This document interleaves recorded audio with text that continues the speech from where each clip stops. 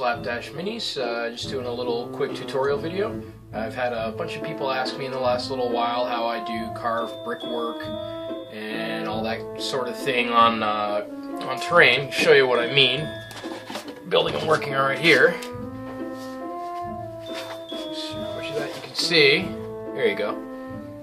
So you got a nice little texture there. Once that's painted up, it's pretty realistic brickwork. Around the windows. So today I'm going to show you exactly how to do that. To do that, you're going to need a couple things. Uh, I do I do all that carving on. Uh, uh, glad I can edit that. I do all that carving on styrofoam. So just your basic insulation foam. I like to use the half inch stuff because it's honestly way too uh, thick for buildings on normal stuff. Tricky to find the half inch stuff sometimes. I know Lowe's usually carries it. And anyway, so that's what you're gonna need to draw on. You're gonna need a metal ruler of some sort. This is an old one from back when GW did their little hobby kit things. I think I've had it for like 15 years. Uh, I really like this one because of its its really narrow width. I actually use that to my advantage. You'll see how in a minute. A uh, just a basic square. Get one Home Depot, any hardware store. They're five, not even ten bucks, if that. I got paid six dollars for this one. A knife to cut the foam, and a really sharp pencil. This is actually what you're going to be doing your carving with. All right, so let's get started. All right, so the first thing you want to start off with is to draw your horizontal lines. They're a lot easier. Uh, when I'm making brickwork for Malifaux, I usually go with uh, 3 16ths of an inch. Sure if that's going to zoom in there. So one, two, three. That's, I find that's a really good size, and then I make them about 3 eighths of an inch wide. I, try, I tend to try and make them twice as wide as they are tall. you can make them whatever size you want. Mess around with it. And you get all sorts of effects. You can do anything like this, so. Anyway, so I will start out. Throw my ruler up there. Mark off two,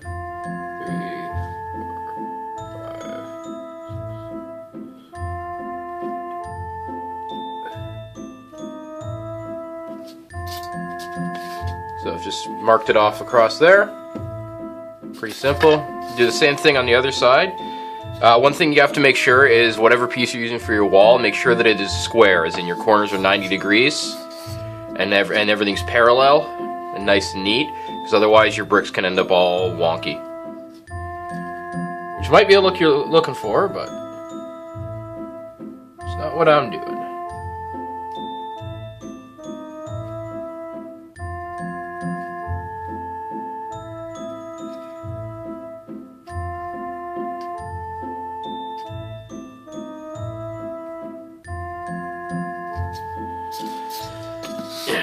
Then just take your ruler, go across, and connect those lines.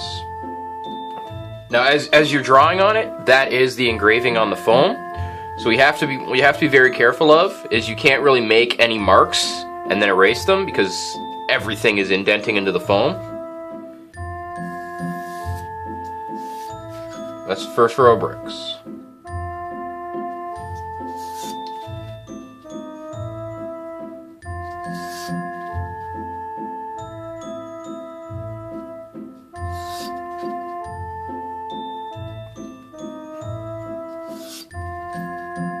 As you're going up, don't just trust your little marks there because those might not be right. The ruler moves around, that kind of thing. Just mostly you just want to watch and make sure you're parallel to the line line above it.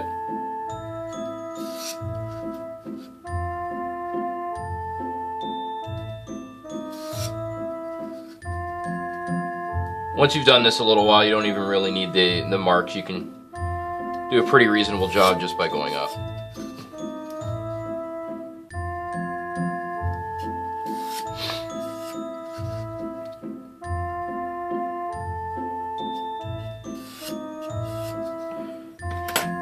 Go, and that's all the horizontal lines. Now, if you wanted to do something other than brick, like let's say you just wanted to do uh, like siding, that, that kind of thing, like wood siding, you could stop right there. That's it.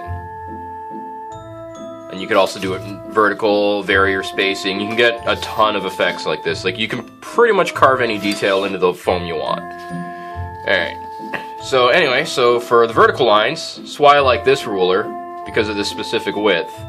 Now, you can measure across and, and do it that way, but it's a bit of a pain. So I recommend just trying to find a piece of metal or something that's about this size, or whatever size the size of the brick that you want to do. You can cut it. You can even just cut a piece of plastic to that size. It'll all work the same. So and then just go down every other brick.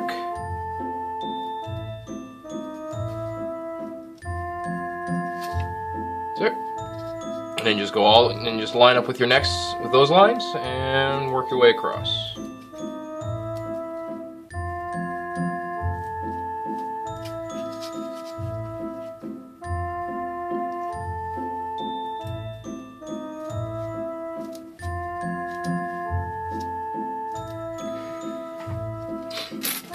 Periodically, this is why you need a square. Just check and make sure that your lines are, are pretty pretty square so they stay nice and vertical. Because otherwise your building's gonna look like it's falling down. Which might be what you're going for, but even if you're trying to make a building that is looking like it's falling down, I always find it's better to start with nice straight angles.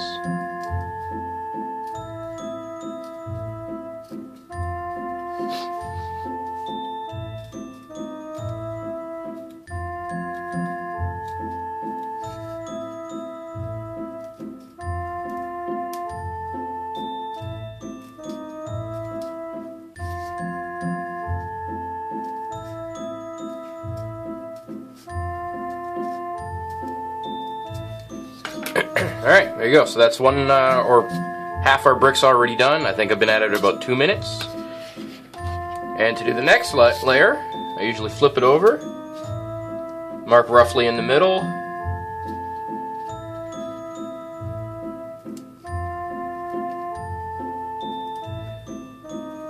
This part gets a little tricky and confusing sometimes. So I screw up a lot.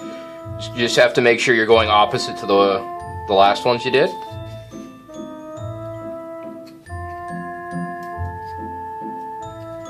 But once you get going, it's uh, pretty much a zen thing. You just keep going. You don't even really have to think about it.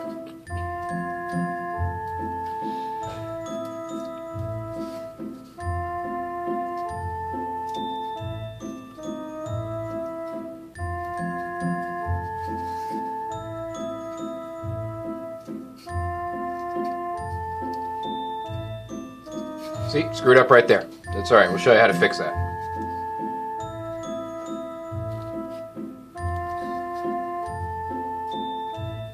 And also, as you're going, you'll, you'll end up with little bits of cumulative error.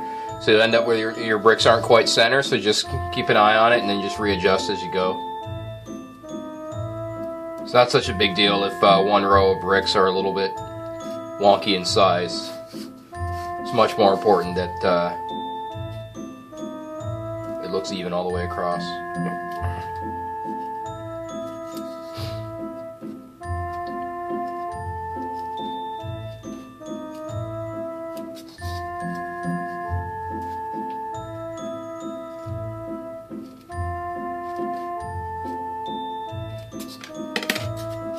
There you go. That's brick texture carved into a wall. Now for that little spot where I screwed up, there's a few things you can do. You can, obviously you can't erase it because it's all carved in, but what you can do is take the eraser, kind of press it in a little bit, take the tip, rough that spot up,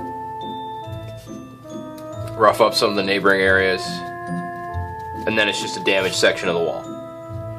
That's done. Just trim that off there.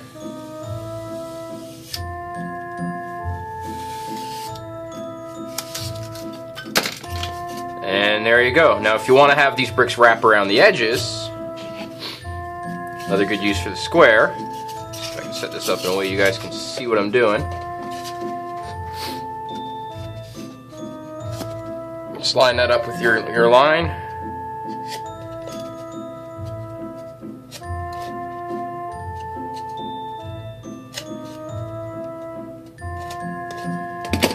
And then that'll wrap it right around. Then you can also do little bits like that, whatever kind of thing. So there you go. That is how I carve uh, bricks and foam for all my buildings. Much cheaper and than using the uh, vacuum form plastic uh, brick sheet, which I still do use sometimes, and really doesn't take that much time. All right, thanks. Peace out.